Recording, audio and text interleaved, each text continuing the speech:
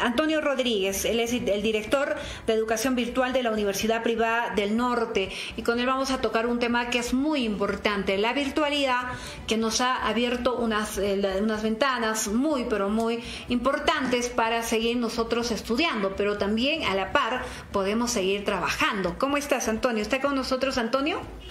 Sí, por aquí estoy. Hola, ¿cómo estás? ¿Qué tal, Marlene? Buenas noches. Buenas noches a todos los teleoyentes. ¿Cómo están? Bueno, Antonio, vamos, vamos hablando sobre este tema que es importante, la educación virtual, la que nos otorga oportunidades y la que nos facilita que nosotros podamos trabajar. Por favor, háblanos sobre esto. Sí, efectivamente. Bueno, eh, todos saben que seguir estudiando eh, para mejorar profesionalmente es eh, extremadamente importante en cualquier parte del mundo y por supuesto también en el Perú, ¿no? en un entorno laboral, digamos, altamente competitivo, pues tener una educación superior, habilidades actualizadas, viene a ser fundamental para obtener oportunidades de empleo de calidad y ascender la carrera profesional en el país eh, muchas empresas valoran a los profesionales que poseen una formación continua y por lo tanto pues tener una mentalidad siempre abierta a este aprendizaje, a seguir estudiando al tiempo que se trabaja, ¿no? es crucial eh, para mantenerse relevante y competitivo en el, mercado laboral. Y, mira, eh, está pensando en, una estadística que leí el otro día sobre la Oficina de, de Estadísticas Laborales ¿no? de Estados Unidos y que hablaban precisamente que en el 2020, pues aproximadamente la mitad de la población de más de 25 años había participado en algún momento en actividad de educación y formación continua eh, al mismo tiempo que trabajaban, ¿no? O sea, ya sea para mejorar, eh, como digo, habilidades profesionales, adquirir nuevos conocimientos, ¿no? O acceder a mejores oportunidades de empleo. Entonces, vemos que hay efectivamente una apertura grande por parte de instituciones, de empresas de todo el mundo que invierten incluso en la formación de sus propios trabajadores y es la educación a distancia la herramienta que habitualmente utilizan para poder eh, llevar a cabo adecuadamente este propósito, porque la educación virtual lógicamente rompe barreras, ¿no? Rompe barreras físicas, eh, rompe barreras de tiempo y por tanto permite que cualquier persona pueda conectarse y pueda aprender prácticamente desde donde quiera y si el programa es lo suficientemente flexible, casi que cuando quiera también, ¿no?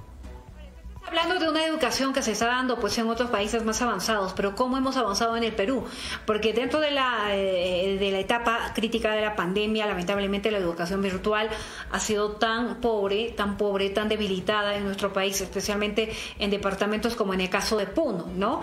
Eh, te hablo de la educación básica, de la educación primaria, de la educación secundaria también, pero eh, de alguna u otra manera la educación superior con las universidades que tenemos aquí en el departamento de Puno han tratado de sobresalir ¿Cómo hemos avanzado? ¿Cómo crees tú, eh, Antonio, que hemos avanzado en el Perú en el tema de la educación virtual y que esta también ha podido facilitar para que muchos profesionales que trabajan han podido tener una ventana abierta para seguir especializándose? Bueno, indudablemente ha habido un cambio sustancial desde el año 2020 en adelante en, la, en la comunidad universitaria en general. Sí que es cierto que esto, pues depende, como se dice, ¿no? La feria ha ido bien o mal, depende de quién la cuente. Eh, pero lo que sí hemos encontrado es que hay más regulación y esto es importante. Hasta el año 2019, por ejemplo, eh, los programas, digamos, a distancia en el país no podían superar el 70% de créditos y después eh, SUNEDU abrió una ventana para que eh, pudieran ofrecerse carreras con hasta un 100% de créditos virtuales, ¿no? principalmente para mayores de 24 años ha habido algunas mejoras ¿no? que se han ido dando y sobre todo yo creo que tanto la Superintendencia Nacional de Educación como las universidades eh, hemos ido aprendiendo a lo largo de estos años. Hay algunas universidades que ya apostaban por la educación virtual eh, antes de la pandemia, también es cierto. Este es, por ejemplo, el caso de la Universidad Privada del Norte. En nuestro caso, desde el año 2014 ya ofrecíamos programas a distancia y ofrecíamos cursos virtuales dentro de nuestros programas presenciales. O sea, nuestro alumno ya estaba acostumbrado a convivir con la modalidad presencial, la la modalidad virtual y podemos decir que respiraba las dos de manera adecuada y satisfactoria en el aula. Sin embargo, no todas las universidades eh, se encontraban en el mismo punto de partida. Y desde entonces, como digo, gracias a la regulación por una parte, y gracias a eh, la, la, necesidad, o sea, se ha visto que los estudiantes, sobre todo mayores de 24 años que están buscando formación continua, necesitan conectarse desde sitios que habitualmente no son centros educativos, trabajan hasta tarde, tienen responsabilidades familiares, etcétera, y necesitan conectarse pues a través de, de, medios remotos, ¿no? Y optan por programas virtuales. Las universidades se han visto y nos hemos visto en la obligación de ofrecer programas de calidad. Eh, la educación virtual podemos decir que lleva en su ADN la innovación, ¿no? Y hay muchísimas tendencias en el mercado educativo que hemos rescatado y que se están trayendo ya al aula, ¿no? Hablamos de aulas híbridas, hablamos de laboratorios eh, virtuales, hablamos del aprendizaje adaptativo, que es cómo la tecnología permite que pueda adaptarse eh, al, eh, digamos, al nivel que tiene el estudiante en algún momento, si necesita cubrir brechas, si está muy avanzado, etcétera. Eh, encontramos la inteligencia artificial generativa ahora en pleno furor, encontramos hasta hace año y medio que se hablaba muchísimo también de los gemelos digitales, ¿no? del metaverso y de las posibilidades que esto podía traer. Y son muchas las universidades, eh, por suerte, que en el país ya están eh, mirando por implementar este tipo de iniciativas. ¿no? En el tema de la educación híbrida, que es, eh, es una modalidad de educación eh, que es muy importante, ¿eh? que se ha vuelto, podríamos decir, en los últimos meses ha sido una buenísima opción. Estamos nosotros ya, ¿tú crees, capacitados para tener una excelente educación híbrida? Puesto que hay alumnos que deciden estar en el salón, otros que deciden de repente seguir de casa, como puede pasar en el caso de academias o universidades. Muchos estudiantes son de provincia y de provincia ingresan mediante la virtualidad, mediante los programas que se tiene ahora y otros que están pues en el mismo lugar, ¿no? En las sedes de las universidades o de las academias. ¿Ha resultado o resultará? ¿Será mucho mejor con todo este tema de la regulación, Antonio? Bueno, eh, cuando hablamos que la virtualidad ha progresado mucho, eh, viene no solamente de, parte de la inversión que están haciendo muchas universidades para poder llevarla a cabo de manera adecuada, sino de la demanda del estudiante. Y efectivamente, como dices, hay muchos estudiantes que están demandando, incluso en programas presenciales, el que haya una eh, cantidad de virtualidad cada vez mayor. Y para esto, nada mejor que utilizar, como, como comentabas, aulas híbridas. ¿no? Para el que a lo mejor no tenga tan claro cómo funcionan las aulas híbridas, son aulas habituales, de físicas, donde se implementan una serie de recursos tecnológicos, principalmente videoconferencias, eh, cámaras parecidas a estas cámaras de aventura, ¿no? GoPro, etcétera, que, eh, con las que el docente pues, puede ir señalando en un taller, en un laboratorio, etcétera, puede ir haciendo zoom, puede ir eh, enseñando pues, ciertas particularidades del, aula que necesitan ser vistas en remoto.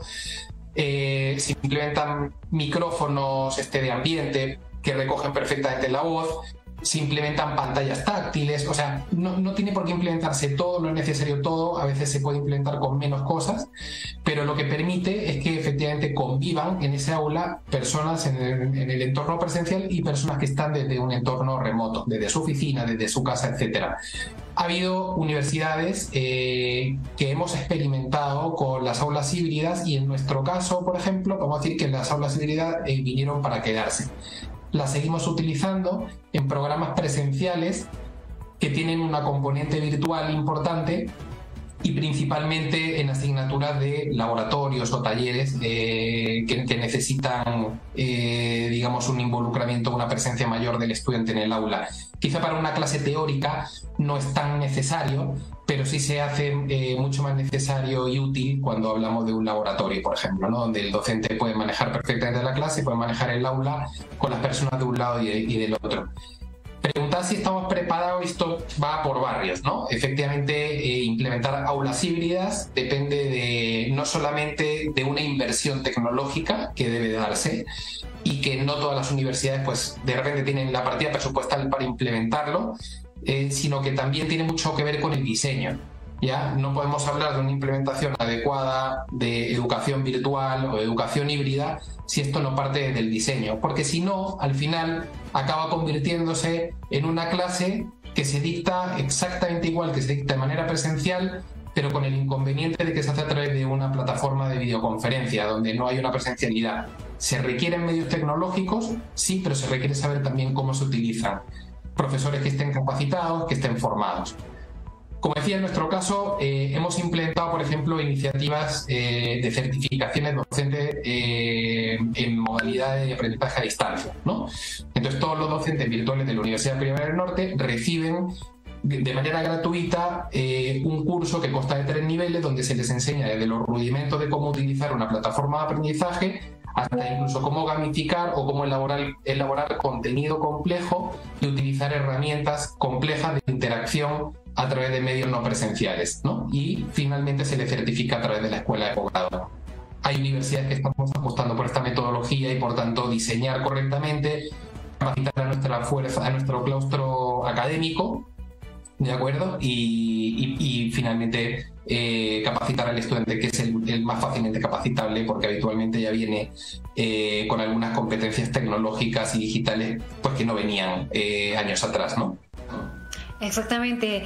Eh, Antonio, yo te agradezco de verdad y veo que la Universidad eh, Privada del Norte eh, está, como se dicen, caminando de la mano con la tecnología y eso es muy bueno, muy, muy bueno porque son pocos, como acabo yo de mencionar, pocas las universidades quizás que han ido implementando y eso realmente nos abre muchísimas oportunidades a muchos que queremos seguir estudiando y a la vez que estamos trabajando. Gracias Antonio, ¿tenemos algún mensaje más? Muchas gracias a vosotros, Marlene. Buenas noches. Buenas noches, muchas gracias. Estaba con nosotros hablando Antonio Rodríguez, eres director de educación virtual de la Universidad Privada del Norte. La ventaja de seguir la educación virtual y a la vez también el cuidado que uno tiene que tener cuando sigue, digamos, algún curso o alguna carrera y uno tiene que decirlo como lo dijo el, eh, Antonio, que es director de educación virtual de la Universidad del Norte, uno tiene que estar seguro de que el centro de estudios que le ofrece la educación virtual esté regulado. Y ahora la SUNEDU, SUNEDU como todos sabemos, está regulando, está, está revisando cada vez más de que realmente los requisitos que uno tiene que cumplir se cumplan, ¿no? Y que no tengamos, como ha pasado en nuestro país antes que ingrese la SUNEDU, hemos visto todo tipo de universidades. Y acá en Puno también hemos visto ese tema de las universidades que no contaban con todo lo necesario para funcionar, ¿no? Y han sido cerradas, pero sorpresa, me parece que muchas también van a volver a reabrir. No sé si nos conviene realmente, porque puede ser, digamos, darle oportunidad a muchos profesionales, porque cuando se cerraron esas universidades, también he perdido, he perdido mucho campo laboral. Pero cuando garantizamos una buena educación si seguimos con esta forma de prepararnos, una forma de prepararnos así como dicen, a las justas con lo que se tiene, siendo tan conformistas. No sé si esto realmente pueda contribuir a una buena educación.